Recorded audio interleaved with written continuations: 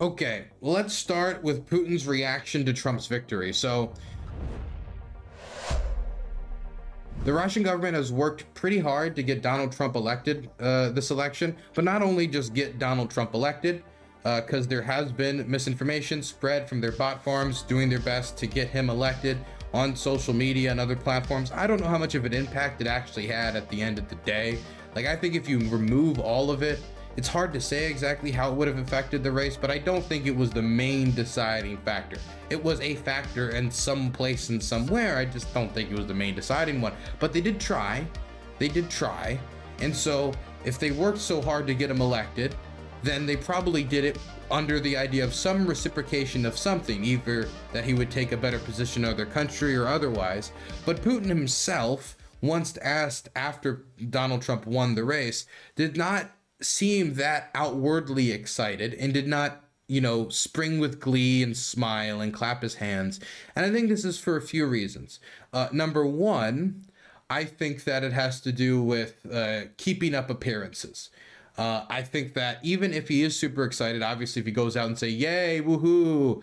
We will now win a thousand years because Putin and, and Trump sitting in the tree, K I S S I N G. If he starts saying that, that's probably going to undercut Trump's ability to actually give him a favorable deal because then there'll be so much domestic political pressure against Trump being a stooge for Putin because, you know, the media's already preempted to that imagery that it'll be hard for him to make a deal. In fact, Putin has tried to control for this in the past. When Donald Trump, as confirmed by Bob Woodward's new book, War, as reported in this book, when Donald Trump sent Putin COVID machines for his personal health after Putin asked for it, he told him to be quiet about it out of fear of political repercussion for Trump domestically. So this is something that is proven that Putin is looking out for on behalf of Donald Trump when it comes to their deal making and Donald Trump previously looking out for Putin's health. So I, I I'm not pulling this out of nowhere.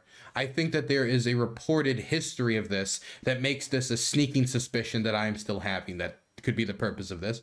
And I think the other reason is, um, uh, I, but I do think this is part of it. I think the other reason is they really don't know which way Trump's going to go. And I saw this one quote from Russian state media describing Trump. And I think it shows why they would want President Trump over President Harris, while at the same time leaves them with lingering uncertainty. Uh, they describe Donald Trump like an unguided missile. You just don't know where he's going to end up.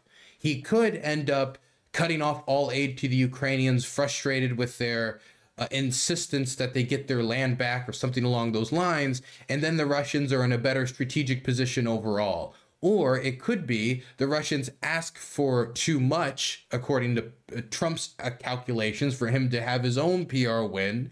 Uh, the Russians act incredulously, or they act imprudently in a way that is received poorly by Trump. And Zelensky's on his A game when it comes to his, you know, smooching and you know, you know, trying to get Trump on his side.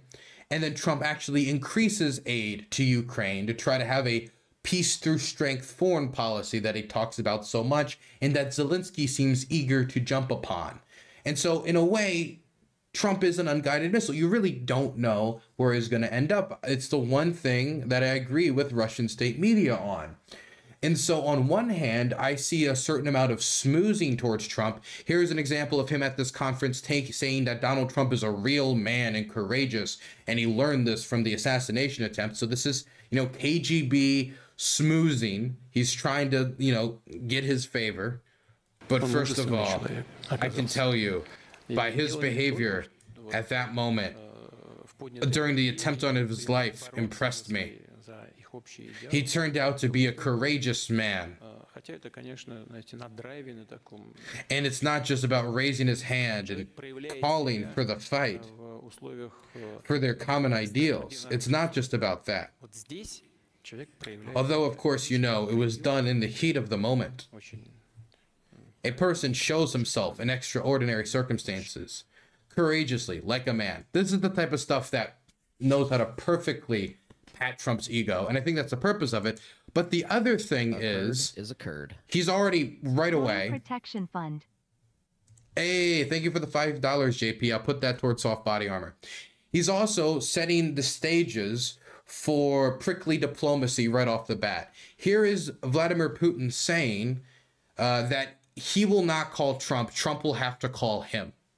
Uh, and I think from the Russian standpoint, Trump calling him would be an admission of weakness that he is the one that needs to end the war because he made the promise. Therefore, it's on him to convince the Russians to end it, not the Russians on them to convince him to end it. Therefore, Trump's the one coming with conciliatory concessions, not Putin. At least that's the mentality behind it. It seems like a tiny thing. Trump calls them or they call Trump. But to someone like Putin, that could actually have some significance, at least when it comes to the mindset that they're entering negotiations with. Uh, what he said about the desire to rebuild relations with Russia. Oh, sorry in English. An end to the Ukrainian crisis. I think this deserves attention at the very least, and I would like to take this opportunity to offer my congratulations on his election as President of the United States. And if he does what he has been promising, you know, uh, before the inauguration, if he makes a phone call, if he says, Vladimir, let's meet, you know, I wouldn't be, I don't think it would be beneath me to call him myself. But again, I think something important here is that Trump making that first phone call. And while that seems tiny, I do think from the Russians diplomatically, it holds significance. Uh, and Trump, I think, might be willing to do it. But on the other hand, something like that, if Trump was to hear word of this, like, wait, they want me to call him? He has every reason for this war to end as much as we do. No, he has to call me. Like, Trump, these tiny things like that is, I don't see it as difficult for Trump to get caught up on stuff like that. And Zelensky to go in there and be like, hey man, he wants you to call him as a sign of weakness. We need to go in there with strength. You don't want to be weak in any negotiation. America should be strong. Your presidency should be strong. The smoothing and the moving and the shaking. That's what we need to see from Zelensky. We need to see Zelensky's best Ukrainowood performance, okay? Ukrainian Hollywood. We need to see the best acting from Zelensky's career. Of okay, man, Obama was woke, Biden was cringe. You can be so based, Mr. Trump. You can be so based. You can be so based. Okay, let's move forward to one last thing that Putin said during this conference that I do think is of note. And that is Putin not only congratulating Trump, like we just said, but Putin also during this uh, meeting said in reaction to the election, and I think it's kind of obvious it was a reaction to the election, at least partially, that he is building a new world order. Let's listen to that briefly before we talk about it and wrap up our segment of how Putin's reacting to it. Elect Trump revealing he has not spoken with Vladimir Putin since his victory as he receives a flood of calls from world leaders. The Russian president, though, publicly praising Trump for his bravery during the assassination attempt in Butler, Pennsylvania. Putin speaking today saying, quote, he behaved, in my opinion, in a very correct way, courageously, like a real man. Fred Pleitgen is out front. After launching a massive attack aimed at the heart of Kiev, Russian leader Vladimir Putin praising President elect Donald Trump. Э, I would like to take this opportunity to offer my congratulations on his election as President of the United States, Putin says. So you're willing to talk to Trump? The moderator asks. Yes, we're ready, Putin says. Indeed, President elect Trump seems willing to talk to Putin as well. Legendary journalist Bob Woodward writing in a recent book that the two men have had a number of phone calls, up to seven, since Trump left office. Trump reportedly gifting Putin COVID tests in the early days of the pandemic when those tests were scarce. And Trump himself has often praised his relations with the Russian president, even siding with Vladimir Putin over the U.S.'s own intelligence services after Russia's interference in the 2016 presidential election. My people came to me, Dan Coats came to me, and some others. They said they think it's Russia. Uh, I have uh, President Putin uh, he just said it's not Russia.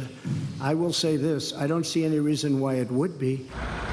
As Russia continues its full on invasion of Ukraine, gaining ground, especially on the Eastern Front, the president elect still saying he'd be able to end the war fast. They're dying, Russians and Ukrainians. I want them to stop dying.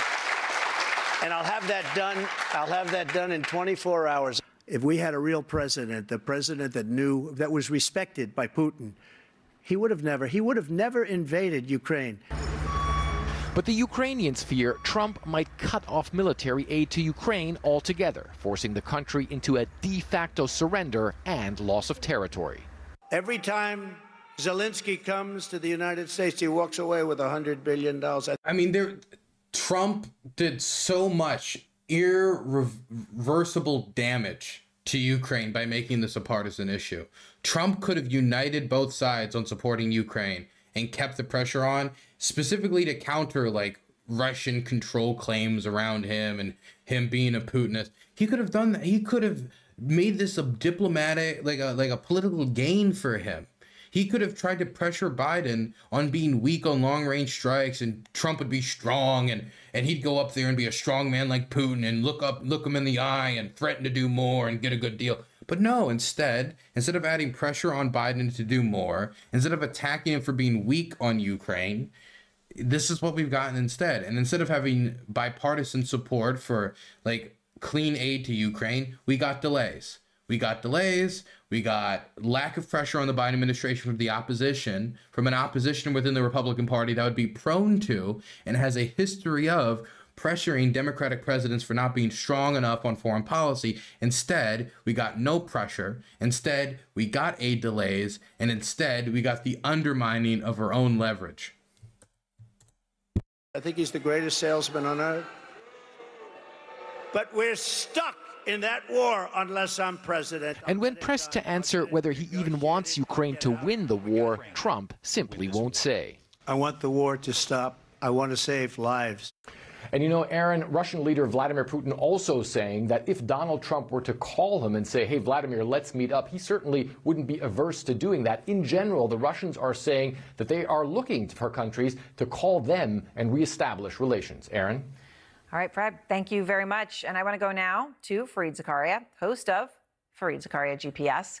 So Fareed Trump wins, Putin comes out and hails a quote, completely new world order. Is it? Well, what Putin was talking about there was uh, a completely new world order in which American power is declining, in which Western power is declining, and as he sees it, Russia and China and countries like Iran are ascendant. So it's a very particular uh, version of a new world order, and I would find it very difficult to imagine that any American president would sign on to that new world order. So, but I mean, hey, you know, give him a big victory for it right off the bat. First crisis of your presidency, and I gotta, I, I gotta emphasize that again. This will be the first crisis of Trump's presidency. He will become president. He will have not uh, been able to achieve peace, I think, before becoming president. He will try to call them both, try to make some deal, and either we're going to get Ukraine getting cut off from aid because they were not able to accept all of the territorial concessions that were asked for them. Uh, we are we could get uh, Ukraine being given a timetable for the shrinking of aid we could get like a, a, complete revamping of aid being turned into gigantic uh, lend lease programs if we're getting Mike Pompeo's proposal. We could get Trump angry at the Russians and ever feeling rebuked by them not willing to accept what he thought was a fair deal. And then we get a reversal from Trump. I mean, we could get anything. Uh, it's going to be the first crisis of his presidency. And you want to know what sucks about it is I don't think the alt media space is ready to cover it. I don't think they're ready to cover it at all. And all the pressure that should be the first wave of opposition thrown at uh, Donald Trump, I think the alt media space is going to be tapped out on. I mean, I think there'll be some, but I think it's honestly going to be up to the going to be up to the Dems in Congress, which gives me a ton of concern. Maybe John Oliver will do a segment and we'll get lucky. no bueno. No bueno. Let's listen to Russian state TV and their uh, estimation on the odds of success on American Russian negotiations over peace.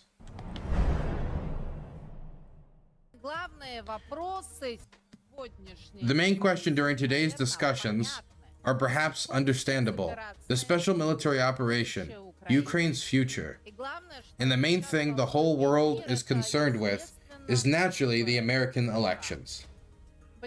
The West that has lost its independence has been waiting for two days for Putin to call the city upon a hill, to congratulate Trump with his election victory. The British are perturbed more than others. Channel Sky News reported that the Russian president already congratulated Donald, not directly, but through common friends. The Kremlin called these reports nonsense and a fake. According to Dmitry Peskov, Putin's press person, Putin and Trump may talk before the inauguration, but for now there are no plans to do so. Moscow positions hasn't changed. Russia still considers the United States a hostile nation. Despite everything Trump said about aid to Ukraine, it doesn't anticipate any changes to U.S. foreign policy. Trump is a nightmare for Ukraine. The Wall Street Journal is publishing the first insight that the 47th U.S. president will demand that Zelensky abandon any attempt to join NATO for 20 years. In exchange, Donald will agree to supply weapons. Otherwise, he will cut off the supply of funds and abandon Ukraine. The British Guardian writes that Putin will not give up his demands. German Die Welt writes that Moscow has no reason to sit down at the negotiating table. Russia's armies continue to advance and is liberating Donbass.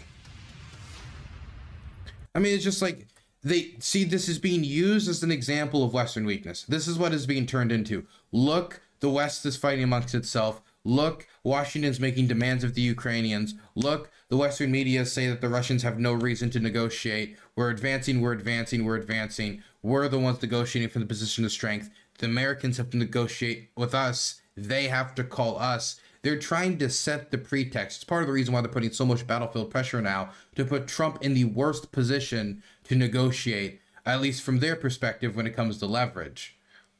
Now, Trump could just con- choose to reject that framing and say, I see the weakness in your military production. I see the weakness in your economy. I am more than willing to strengthen the terror, uh, the, the sanctions. I'm, but I haven't seen that rhetoric from him.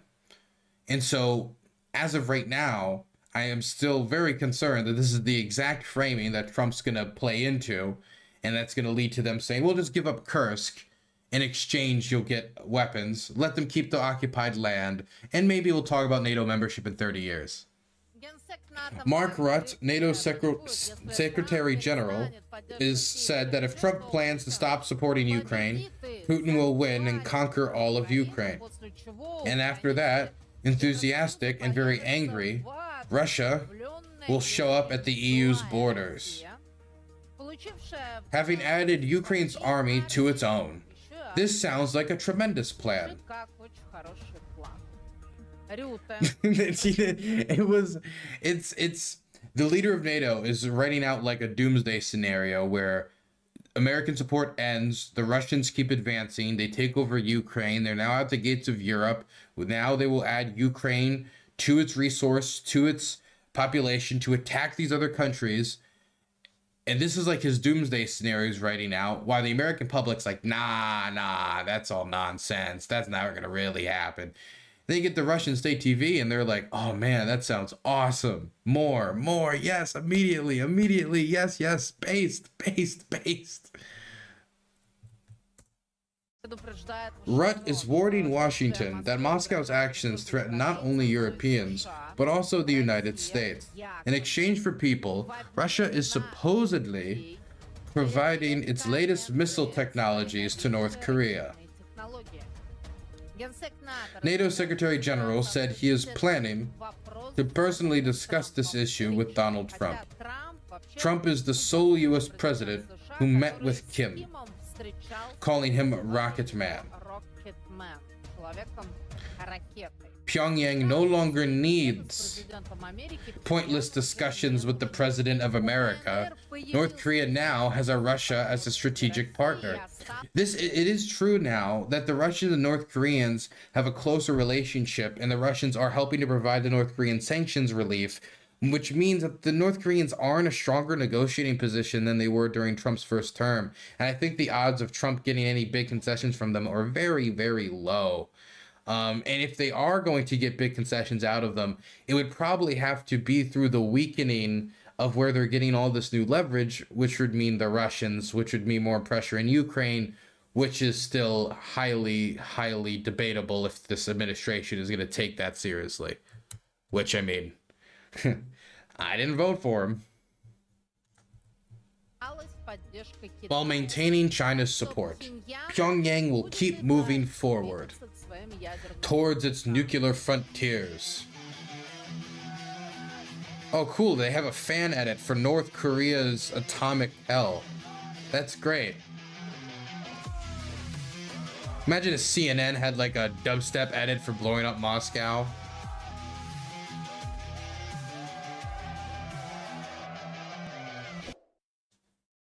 What editing?